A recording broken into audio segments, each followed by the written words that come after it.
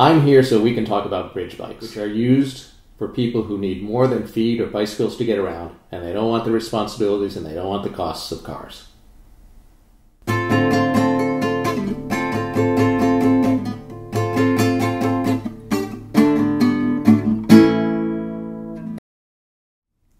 Welcome to Bridge Bike. This is a conversation about designing and building bicycles that are suitable for people who need regional transportation. These are bicycles that are more capable than normal bicycles and yet help people avoid the costs and the responsibilities of car ownership. I hope to just introduce what we're up to, why we want to do it, and get your feedback and comments on how to contribute, how to play, and ultimately, how do you get one of these bridge bicycles? We hope you join the conversation.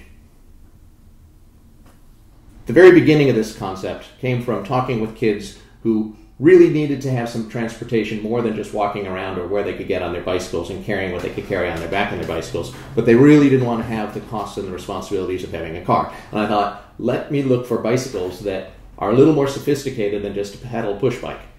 I also talked with people who were commuting and they would go by public transportation some of the distance, but either at their first mile or last mile needed a form of transportation that could get them to and from the train. Idea, and I looked around at options for people, and what I found were some very nice and very expensive options. And I thought we needed to have a more accessible choice.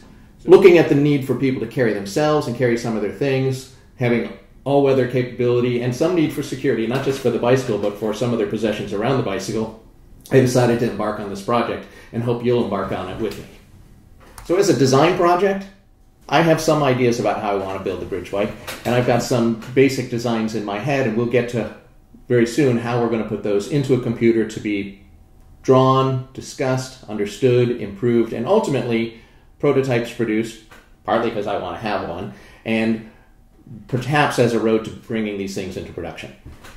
The basic features of the bridge bike that I think are important is it, it shouldn't require a license, it shouldn't require insurance, it should have electric assist so that people can have an increased range when they use them, and it needs to be able to ride with bikes on bike paths, be able to park with bikes and things like that.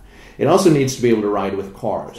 It has to have an upright riding position. People have to be able to see the, the bike, they have to see the people on the bike, and the bike itself has to have lights and be visible day and night so that people can use it as alternative transportation. Has to have a degree of weather protection and needs to have some security for the bicycle itself, but also to have some trunk space where some nominal number of things can be left with the bicycle. And most importantly, these have to be accessible.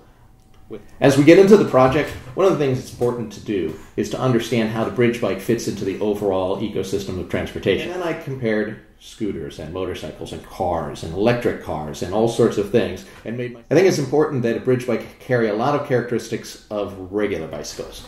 No license required, no insurance required. I think it's important to use the electric capabilities that electric motors that have been developed for bicycles allow us. It needs moving ahead with a comparison. If this is bridging the use case from bicycles to cars, it's going to share some characteristic with cars, but it's going to have a lot of differences. Cars require a license, insurance, there's a lot of maintenance and costs associated with the drivetrains of cars, and the bridge bike will have none of those things. Scooters really are a great option.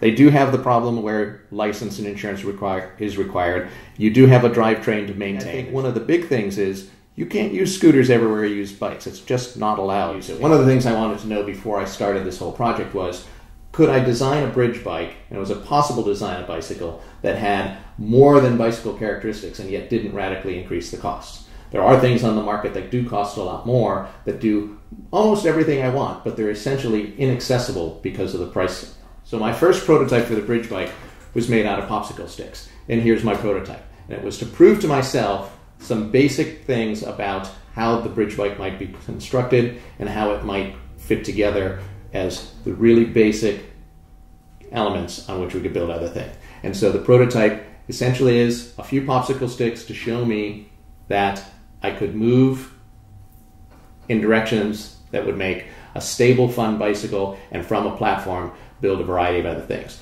And if this suggests some ideas to you, that's terrific.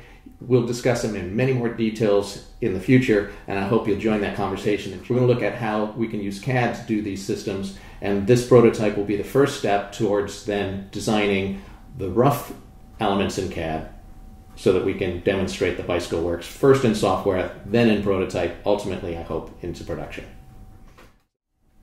The way to join us is to please chime in.